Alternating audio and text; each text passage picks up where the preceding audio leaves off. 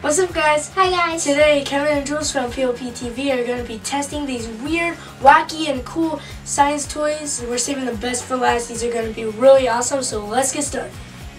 The first thing we found are these weird tubes with colorful liquids inside. It's very carefully wrapped, and it looks like this one is red.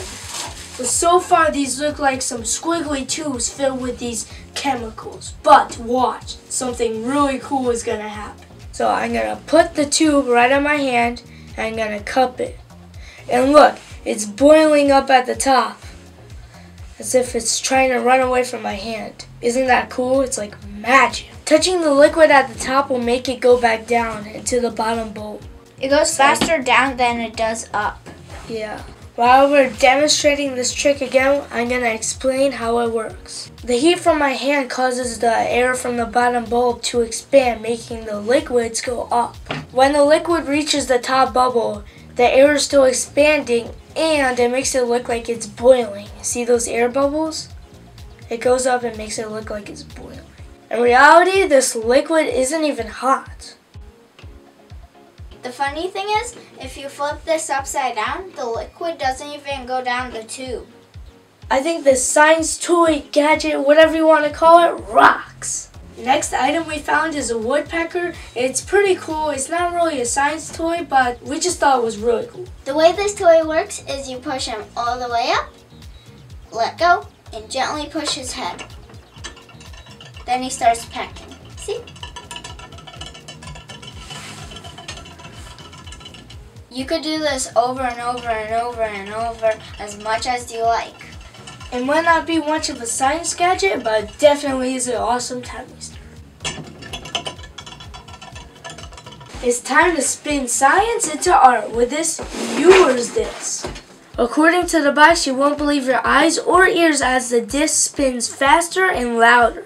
The package comes with a mirror, the disc, which is really heavy actually, and a few magnets. There's tiny ones too. One side of the Euler's disc has a flat edge and the other side has a rounded edge. You're going to put the magnet on the flat edge. Pick any magnet you want. I choose this one because it looks cool. Let's move the others out of the way and watch the magic happen. So you take your mirror, you put the Euler's disc like this, and you spin it. Here goes nothing. What? That looks awesome. How long will it spin? The package says it can spin up to three minutes.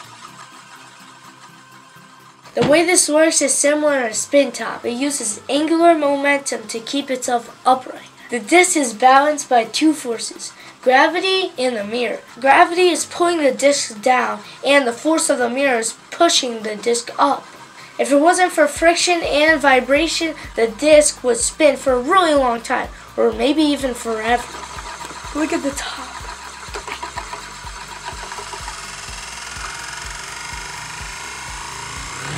Now that we're done with this science toy, we're going to show you our favorite one.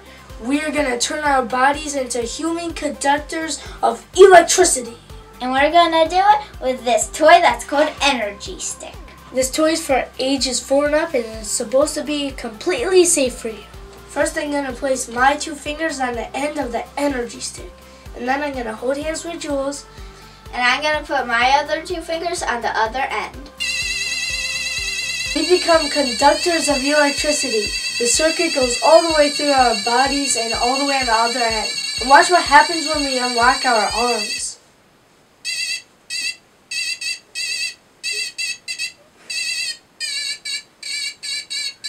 Easiest way to trigger the circuit is to hold it with both ends. Then it travels way through my body.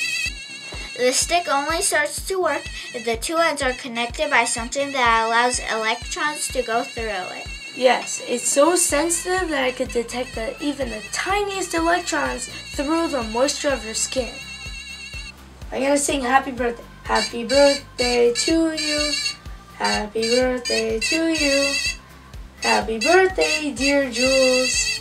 Happy birthday to you. Done.